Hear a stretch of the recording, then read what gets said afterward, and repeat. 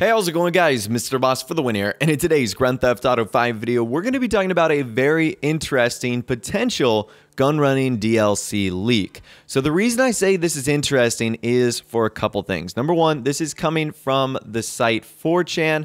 Now, I don't use this site all that much, and I really have no clue how it works, but this is the same site in which the import export leaks came from. So to give you guys a quick refresher, there was a user on 4chan. His name was Rockstar F. That's just what I'm going to call him.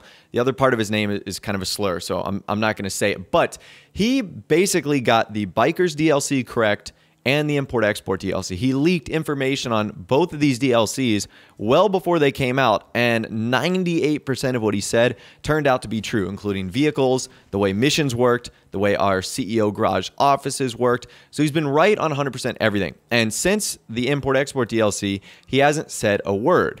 Well, another user, and again, this could be just pure coincidence, could be fake, could be real. No one really knows for sure yet, but it is interesting. His username is Descendant of the F.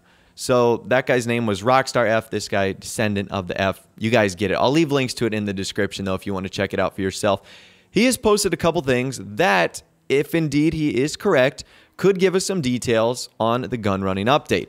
So take this with an extreme grain of salt. I'm not confirming anything. I'm just saying this is interesting and we should check it out. So the first thing he says is he actually responds to a question that was imagine the disappointment of all the people expecting for aircraft carriers and high-end military vehicles when it ends up being really basic cross-country things like Trevor's smuggling missions with just a few basic off-roaders and dirt bikes. And he responds by saying this is not too far off actually. There's still going to be some neat military stuff like new rifles and other APC, but most of the content is going to be centered around off-roaders and modded weaponized vehicles, a la Mad Max. Now, that's exciting to me because one of my favorite movies of all time is Mad Max Fury Road, but let's get on.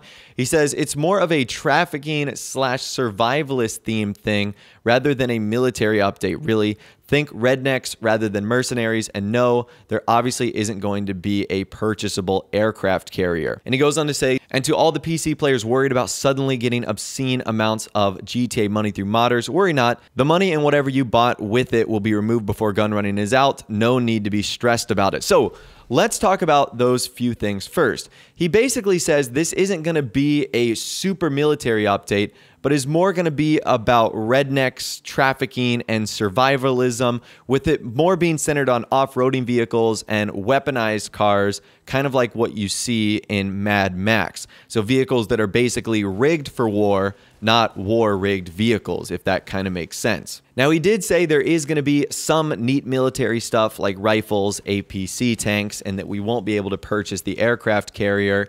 And he kind of ends by saying that modders are going to lose all their money and the stuff they bought with them before gun running is out.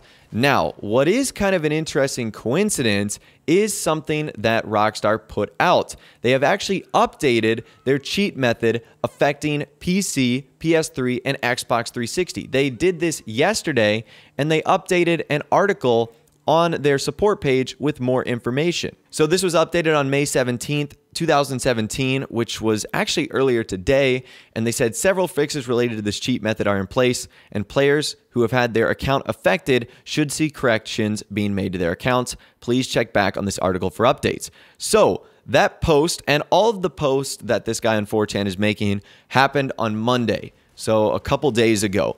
Isn't it interesting that this came out today and that he mentioned that on Monday? So, like I said, I don't want to put the tinfoil hat on here, but we are kind of connecting the dots here. He also responds to another question that says, When are we getting go karts? by saying, What would be the point if there isn't a go kart racetrack? This isn't Chinatown Wars. No plans for go karts as far as we know. And then he responds to a question that basically was, How expensive is all of this going to be? He says, A lot, but it'll be worth the investment. There's going to be a lot of fun stuff coming up. And someone asked him, to define a lot and if 3 million will be enough to buy the new warehouse or whatever he'll need to do the new missions.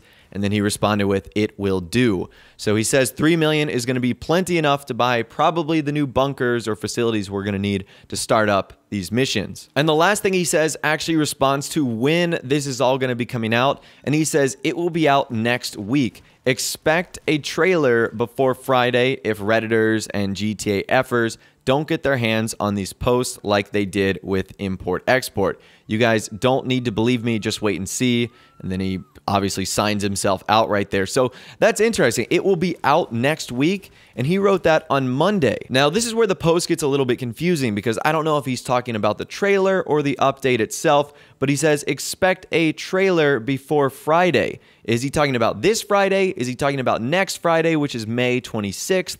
when a lot of people are assuming we might get a trailer. Again, that's where things start to get a little bit vague, and I'm really not too sure whether or not that is true. Like I said, none of this has been confirmed at all yet. So you do need to take it with a grain of salt here. But I do think there are some interesting points to what he has made based off of what Rockstar has said so far on their one post on the Newswire. And one thing I almost completely forgot about is that guy was writing that information, as I mentioned, on Monday. Well, today, the QA beta branch of Grand Theft Auto Online has been updated multiple times, which is an indicator that DLCs are typically two to three weeks ready from release and that they're on the final patch and build of the update. So that's pretty interesting right there. Those are some things that I believe validate this guy. But as I mentioned earlier, and as we're about to take a look at, what he's saying and what Rockstar mentioned on the Newswire is slightly different. So if we go back to what Rockstar said on the Newswire, it kind of seems as if those are contradicting points.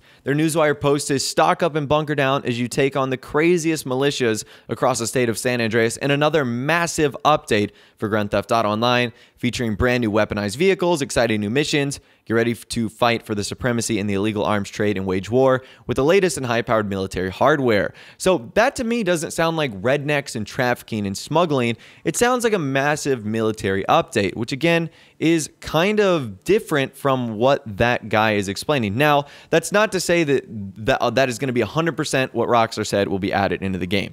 They clearly could have overhyped this, or they could have just used a bunch of words that maybe weren't exactly what was going to be featured. And again, that post was over two months ago, so who's to say a lot of this content couldn't have changed over that time? But I still think this is all very interesting. And the fact that the anti cheater method has been updated too at the same time, that guy mentioned something about it. That could be an odd coincidence, or that could be a telltale sign that this guy may or may not know what he's talking about here.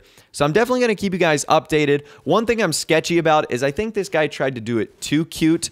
Like he tried to say descendant of the guy who, you know, leaked all the other stuff. He might be a descendant, but I think that's a little too cute to do it on the same forum and kind of with the same name. And also, where were you for the Cunning Stunt Special Vehicle Circuit DLC? Did you not have the information then? Did you just choose not to?